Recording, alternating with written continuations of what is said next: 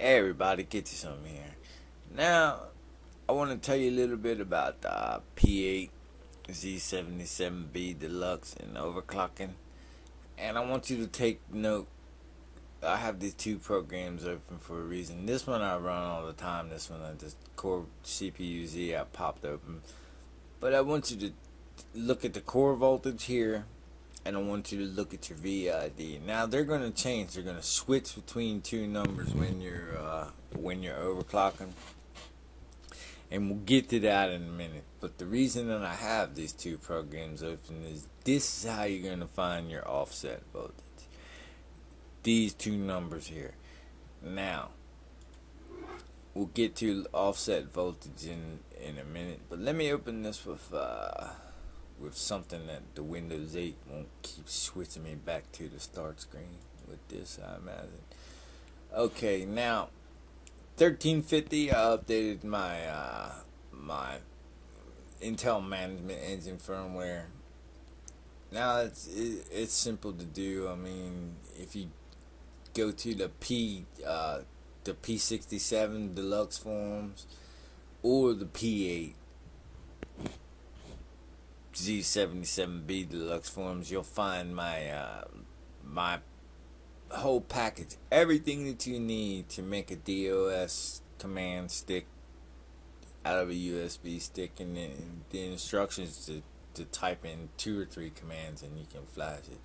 It's no problem. I wouldn't recommend doing shit in Windows, but you know they do have tools that you can do it, and that's just insane for me. I've been flashing firmware for years and years, and I won't never do it through Windows command. Too much crap can go wrong. I'd much rather have more control of it myself through the DOS commands. At least that way I know what's going to get typed in and what's going to get entered into the command. But with Windows, you know, a, some uh, a lot of things can go wrong, but that's up to you. If you want to be an ass and do it the other way, go ahead and do it. It's up to you. It doesn't matter to me. It's your board. I ain't the one that's going to have to send it back if it gets bricked. But set your uh, manual overclock to uh, to manual.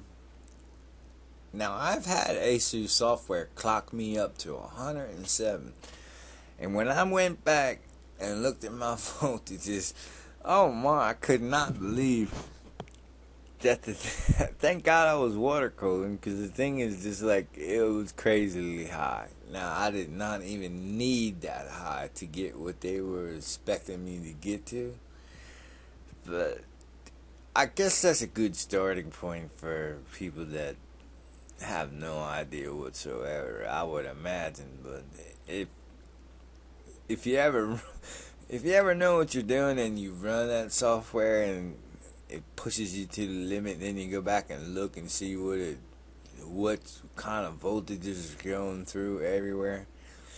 It's insane. It's just, but that's enough on it. Um, disable the Asus multi-core enhancement and pop in 45 on the ratio, and it should load 45 for the rest of you. You don't have to do it but once. Now your internal PLL voltage here if you want, uh, I've been going to higher clocks, so I just left it and they would never switched it. But you know, if you're gonna stay at 45, you can uh, you can disable that and S3 will work, your sleep will work, and everything fine. But I don't, I never put, I just completely shut my computer down. That's up to you, what you want to do with it. Now, uh, your your memory frequency, whatever you, I have G Skill Trident 2400. Um, the new G Skill Trident or the G Skill X, whatever. I don't even remember what the heck it is. But go into your DRAM timing control and set to uh, set to whatever your RAM frequency is. I th- I believe mine is 10, 11, 12, 31, something like that. And your CPU power management and digital power control. We'll get to that in a minute. Now here's what I'm talking about. I have an offset voltage of minus. Now, on my old P67 board, I had a plus voltage. But see, that's like I told you, we'll, we'll, I'll, I'll even show you again on how to end, on how to get your offset voltage. Coming up. If I can get this thing, there it goes. Alright, now. Uh, whatever your DRAM voltage is, set as such. Now, for your CPL at 45, 1.70, hit enter, it'll pop the rest of them zeros in for you. Disable your spectrums down here, disable your B clock recovery. Now, on your CPU ratio, hit 45. This will change, you won't be able to mess with it, and that's fine. The rest of them are good. Now, on your low line cow here, hit the ultra high. Your CPU voltage frequency manual 350.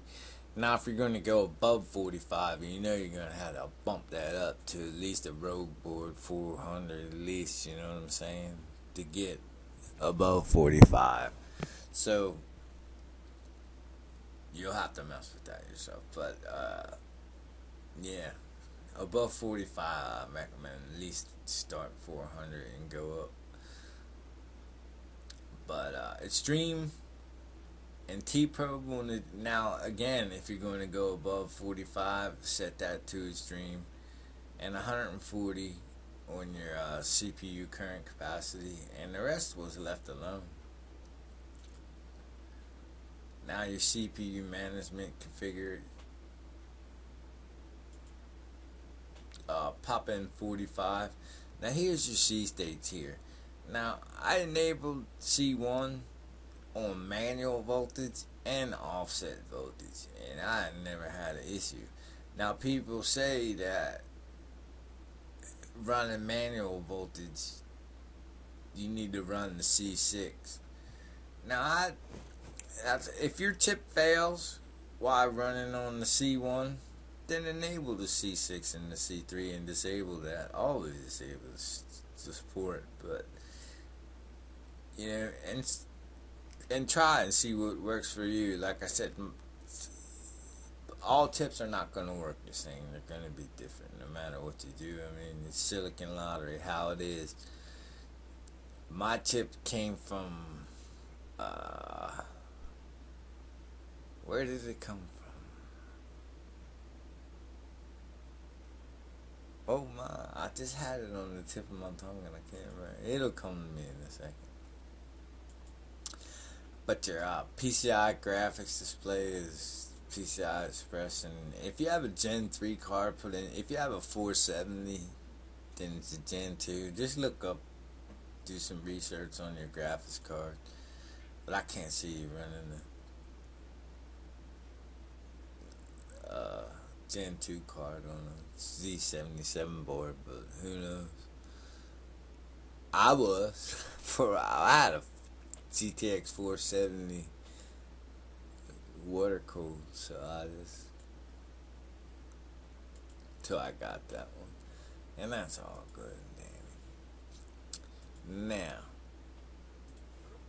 get that out of the way. Now, like I said, to get a stable overclock at 4.5, I would recommend going 1.265 volts and running prime 95 for a half hour. If it passes, knock it down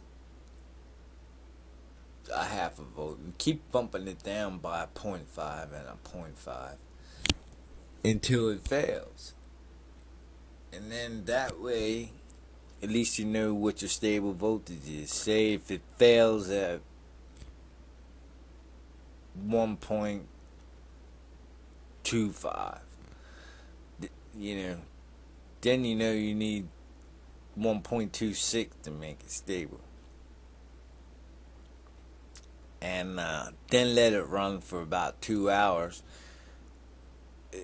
You know and then if it passes you're fine. If it doesn't then bump it up a half a volt and run it again.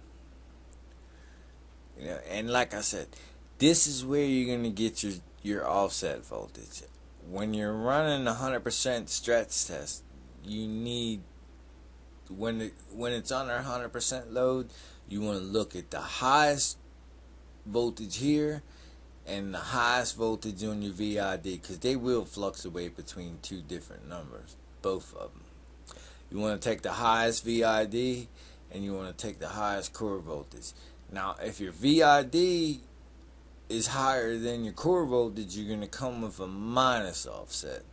Now, th if this is lower than your core voltage, then you're going to have a plus offset. That's how you get a plus and a minus offset. You take the two and